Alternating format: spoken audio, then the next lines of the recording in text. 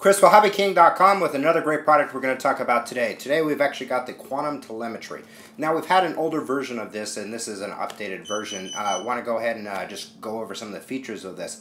Now you might remember uh, a few weeks back we uh, introduced the low-cost uh, telemetry system by uh, Quanum which simply just plugs into the battery via the charge port and you clip it onto your transmitter or put it in your pocket and you just set your uh, low voltage cutoff. Uh, really simple system. This one's a little more advanced, uh, but keeps the same simplicity in mind. So let me go ahead and hold it up. So first thing you're going to notice is uh, we've got an actual backlit LCD on this particular one. Uh, and uh, it's uh, just uh, has a clamp on the back. It allows you to clamp it onto your transmitter or you know whatever you might have uh, to put it in visual range. Um, and of course has your antenna right up on there. Now on the top we've got a power, bind, and backlight switch on this. And I'm going to go over some of the features with that. Now on the transmitting side of things, uh, just like the other Quanum uh, system that we re released a few weeks ago is the transmitter itself. Now uh, this one has a few more features. So you have battery that you just plug in uh, your cells uh, or your charge port on just like you would the other one so it's fairly easy. It is powered right off the battery so you don't need any external power. Just simply drop it in your plane. You could even just have it tied to your different batteries so you can move it from plane to plane to plane. No problem there. But what you're going to notice is that this transmitter has a little bit, uh, or has an extra lead on it.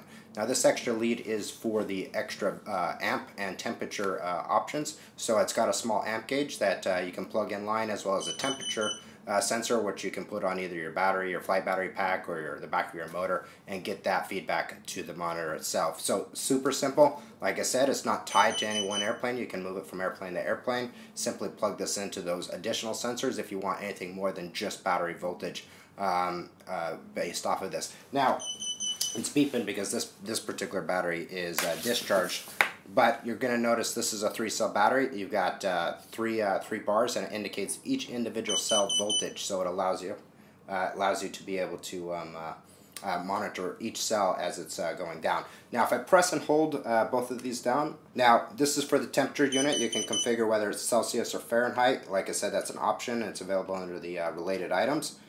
Um, now this is capacity display mode.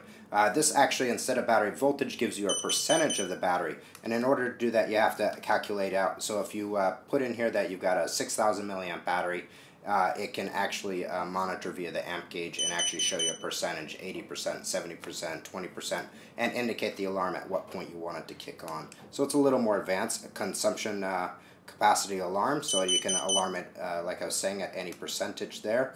total voltage alarm, uh, as well as individual cell voltage alarms. So you have total voltage uh, if it drops below or any one individual cell. So say you have one cell going bad, this would go ahead and give you the indicator on that as well. So you can set that up. Um, and then of course defaults on that. Uh, so I'm just going to go ahead and power this off, press and hold, shuts down. I'm going to power it back on and that'll give us back to our front page and there we go. We've got uh, all that uh, ready, all the information.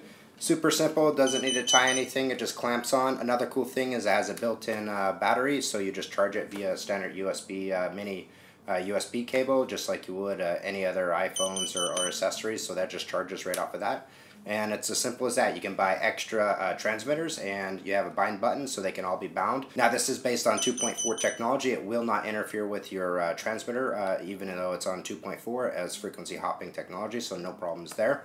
Uh, will work with anything. We've got uh, available uh, transmitters so you can put them in multiple planes or just move the one around as well as the accessory amp gauge and temperature gauge that you can have those readings up on your screen as well.